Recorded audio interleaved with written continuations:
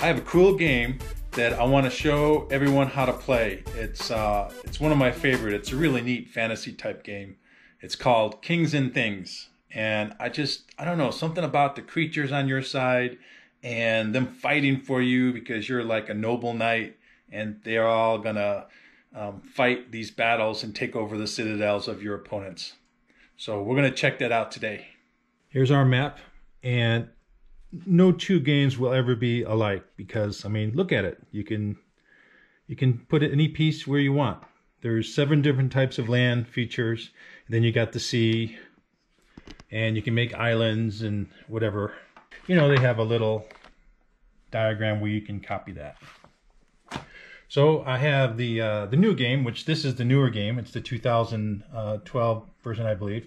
And I also have the older game, which is the um, 2000. Uh, it's a 1990. It's 1996, I believe. So 1996. It's not as colorful. You can see the the rules are just blue and uh, black print, and the tiles are much smaller. But it's still the same game. Plays the same. You can still find these on the internet. Um, you know, control markers. Everything's paper, cardboard. Everything is. Uh, unlike this game, where you got plastic pieces of the citadels, big wood pieces of these uh, control markers, and then these thick chits of your creatures. You got gold, your heroes. Everyone gets one of these boards, and you're supposed to hide your pieces. And then you have a little cheat sheet here. It's got your events, magic, and your uh, heroes, what the heroes' uh, powers are. So everybody, uh, I'll put this down for right now. Everyone starts the game um, with 10 gold and 10 pieces. I just dipped into the bag. Um, here's the bag. And there's tons. It's really heavy. So I just randomly selected these 10. This guy's upside down. Um, you may keep these or you may get rid of some. It's up to the opponent or up to you. It's up to you if you want to keep some or, um, you know, you know, you don't want a snake because you don't have that land because these creatures can only fight in the land they're supposed to be in, forest, jungle, so forth. So you would just say, yeah, I want to get rid of this, and then you pick out a new one.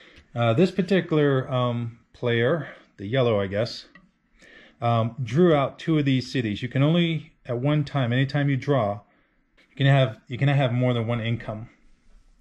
Now this particular guy, he's got one income marker, but he's also got a treasure, which is okay. They're two different things. So this guy would have to get rid of this. He'd have to put this in a bag and get a new one because you cannot have two of those. There's also other um, income markers that are similar that you would only have to keep one. You can't keep them both. Um, this uh, first player, this goes to, if you're playing three player mode, I'm only doing two here, for example. Uh, this would go around. So if this person started, after it goes to the third person, this would move to this person, and then this person would then be last again, or last because he was first. But two players, you're just going back and forth, so it doesn't matter. Got your dice, so see if I can get a hero. And I rolled a one, so you have to roll uh, a five or a six to get that guy. And he's got range, which is great. Range, this is magic. The stars are magic. R is range. Um, this is magic. And the C is a charge. Here's a charging, which you roll two dice for a charge. And these are just normal, normal creatures. They don't have any, they're all melee. Here's a flying creature. So what we want to do is we want to place these on the board and you can only put them on your controlled marker. So, and you would put them on like this and no one knows what you have. so if these guys go into battle, if they're going to battle someone, if someone comes into this land, um, this is a forest. So these two right here would obviously, if you, if someone wants to fight these, and you can keep them covered, but if they do eventually go into a battle, they would lose automatically. They would have to be taken off the board because this is not the land that they belong in. um, these particular guys go into the swamp. Now they, if they go into a battle with someone else, so someone moves into there, and they would be uncovered once you move in, and now you can do battle. Magic always um, starts the battle off first, so they're going to roll a dice. And let's just do an example here. He did a three, so a two or below is a hit. That he's hit the uh, opponent here. And this guy has two characters, so he can roll two dice. And he's both got six and a five. He would need a one and a two. So he didn't didn't do it. This particular guy didn't either. So now you either retreat, he can retreat back, um, or he can he can stay there. And again, this one is just a plain, so he would he wouldn't do any good. Everyone gets a a little keep, and it goes like this. Starts off with the keep, then you got a little, uh, I don't know, it's a little wall around you keep, and then you got your castle, and then your citadel. If you're doing a battle, you want to put your marker on your battle. Everybody should be upside down. No one knows what you have. Unless you're actually fighting, then you have to uncover it. But once you're done fighting, you can uncover them. You can cover them back up like that. So no one knows what what armor you have or what kind of characters or fighting force you have. So take this blattle mark off. The way we're going to count this, let's just say this uh, particular opponent, he's got all this land. Look at that. So every two, every two land you own, you get to dig in your bag for um, one chit.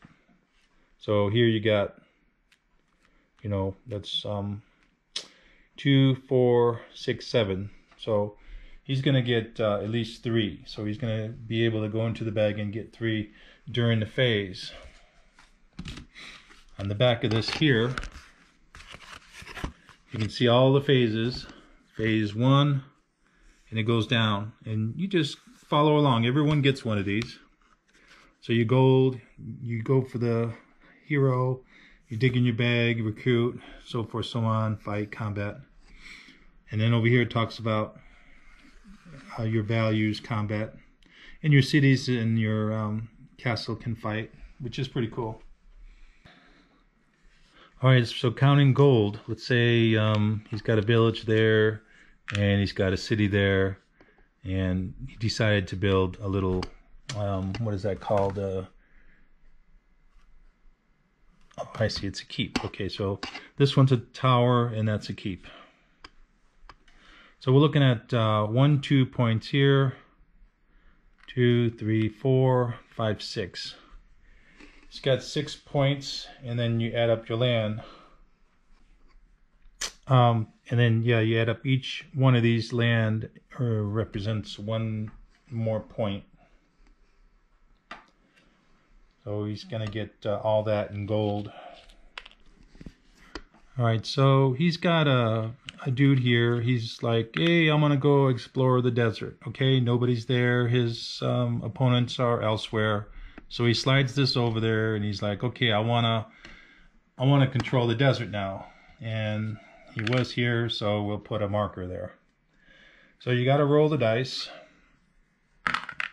Okay, he's got a 1 which means you basically win the land. Either a one or a six wins the land. So he just he just controls it. That was pretty simple. All right, so what if it wasn't a one? Let's roll it again and see if we get anything but a one. There's a three. All right. Going, got to use the bag here. And we're to go ahead and draw three pieces out I think I got three here. So he's got um, one, oops, sorry, it's only two. One more. So he's got three.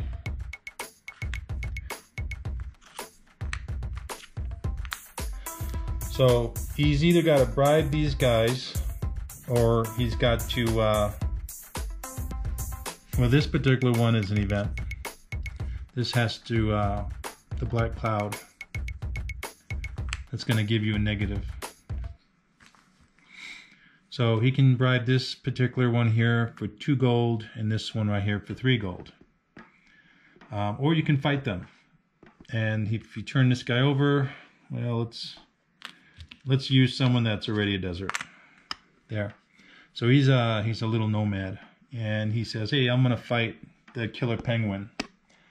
So he's gonna go ahead and roll, and it just so happens that he got a one. So um, the other particular character can roll too. So he's gonna roll. He's got a one. So a two or a one will will kill. So basically, they just kill each other off. They get removed back into the, the hole. Now these two things have to stay. And he doesn't get that control marker.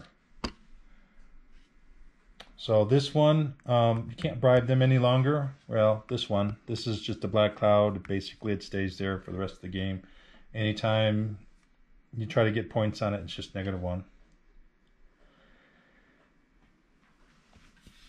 That's pretty much how the game goes. Um, you, if you can build yourself a citadel on your land and you're able to keep that for a a total turn, and if you have 20 gold and you have the citadel, you win the game. It's that simple. You just have to go up in stages. Anybody can attack the citadels. Um, you don't destroy them, but you have to use a dice to say, hey, he's got three damage on it, so his power is uh, not as strong anymore. And you'd want to build that back up again. Best just to buy your own citadel and work it up. Yep, lots of gold. So the game is really fun. I uh, enjoy this. Uh, yeah, it looks a lot like Catan with the map and the land, different land. So, um, but here you you're fighting with uh, creatures that are totally hidden so nobody knows what you have until there's a fight, and you can only you'll fight what you want to fight. You know, you you'll retreat if you go into someone's uh, land and you're like, hey, I don't have enough of those creatures. Just retreat. Just go back into another one of your lands. Um, that's probably the best thing to do is retreat. Because uh, once you turn your creature over that you're fighting, it has to match the the land you're in. The only one that don't have to do that are the superheroes. They fight in any land, uh, unless it's a a master of the land. Like this particular one is a desert master, so he has to be in the desert to to fight. Otherwise, he's no good. And uh, Iceland, Ice Lord, they can fight anywhere. So the heroes are great to have. This whole game when you do battles, it's all about concealment of bluffing. You know, you got this big group of um, soldiers going across. I mean, you're going to be nervous. You don't know what they have. They could have who knows what. And uh, he's got two points here. He's got his little um, tower. So we, we don't know the maximum amount of uh, fighting force you can have in one square is 10. So he's got already here, um, I think he's got six. So he can only have four more here.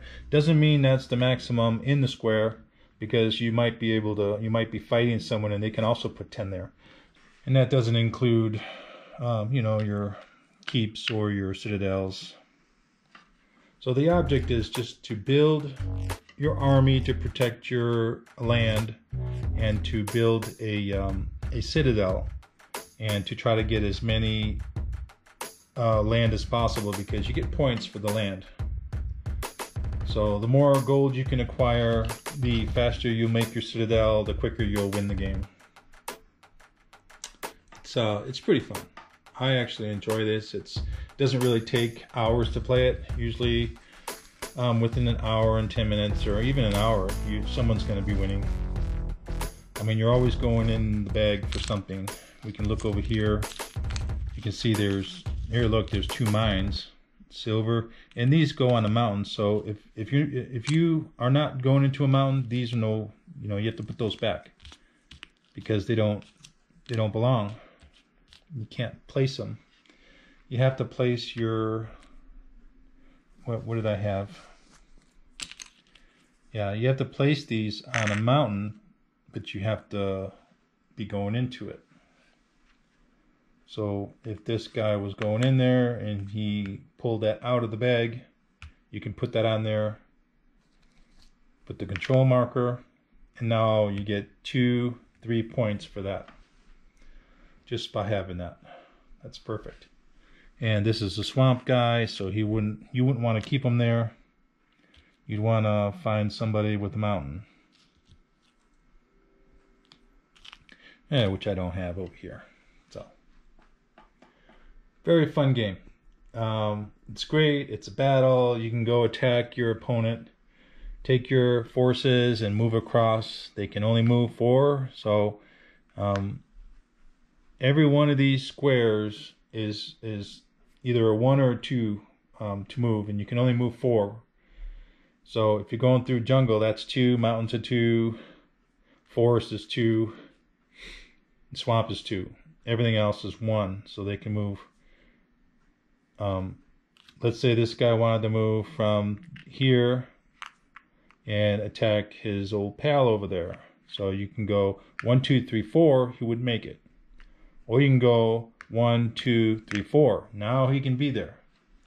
And he would move like this so his opponent doesn't know who he is. And they too would be like that. And then when you battle, you turn him over. And this guy if he does turn this guy over, he may not. He might want to retreat or he'll lose it. So these two can do battle. They're both, one's flying, one's magic. Magic fights first, rolls dice first, and then your opponent. You could probably get away with even having five play. Um, you just got to find some pennies or something to to use instead of those but it's pretty cool. It's um, gives you a 3D. The map is like 3D almost. It's pretty cool. And these are the best. You know, if you have one of these, I mean, anything under a five is going to kill. It's going to be hit. So that's that's great. And then there's a six. Look at this. If you can get this, in order to acquire this one, you have to roll a six. So while he's over there, you you got that phase. So you roll. It's a two. They're so hard to get, but once you get them, they're so powerful because you don't even have to roll. A six or anything under is a, is going to be a hit. So these are awesome in battle. He's over here. He's in this particular um, battle with this other dude. So when he rolls, all magic will roll first. He's a flyer. So let's go ahead and roll these eh, anything under. So what I should have done was roll for each one. Actually, he doesn't have to roll. So you're basically only rolling once. He's got a one. So two or one is a hit. So this guy is going to say, okay, well, he doesn't have any magic. So his phase is pretty much not there yet. So he's going to, this phase of magic is over. He has to take a hit. Actually, two hits. So he has to remove his his guy. And this one, he can say, hey, I'm not gonna, I'm not gonna show this. I'm just gonna retreat. So he might retreat. And then this will now be, it'll now be yellow. And that's pretty much how the battle works. And then he can just cover these back up. Well, this one you can't cover up because if you turn these ones over, it's a different, it's a different uh, hero. So he has to stay like this all heroes pretty much are face up. You have to, and when they go back into the pile, you have to turn them over if they die. So there's these are the heroes you have to choose from. So this particular guy um, is on a force. He dies, comes back, turn him over, and now he's a different. He's the Ice Lord. And again, Ice Lords can only be on ice to fight. They can move around the board. You just have to go to ice in order to have that power. Otherwise, they're useless. And you know, you don't know what these are. Only the uh, so these are swamp. And if you want to, you can just leave them like this as as like a as like a barrier. Don't fight me, because look what I got. So you can leave them face up, or you can leave them like this, because your opponent won't know what you have. And neither one of these can fight. this guy has to go to ice, so he's over there. So I did I did start with this game. I I think my sister gave this game to me. It uh, I just really liked it. I thought it was a cool game to play. Um, and then I bought this other, the newer game. Uh, the older one was like a, I guess they call them a bookshelf game. And again, the instructions are real similar. I mean, basically only the color of the books and all that are the different things. Everything else is similar. I mean, the gold, you got square little chits here, your dice and your control markers. I mean, your forts and your heroes are in here. It's a really fun game from the 70s. Probably can't find those on the internet anymore. So go ahead and buy your game, play your game. Doesn't matter if you have the old version or the new version. It's a fun family game for four people or five people if you use pennies, maybe dimes and nickels as your control markers. So it's it's a great game. Um, I enjoy it. I enjoy playing this one. So thanks for watching this, and I'll have more games coming up. Hello, everyone. Um, okay. Hello, everyone out there. No. Hello, everyone out there. Um, I've been getting, um, no. So today, I'm going to, uh, know,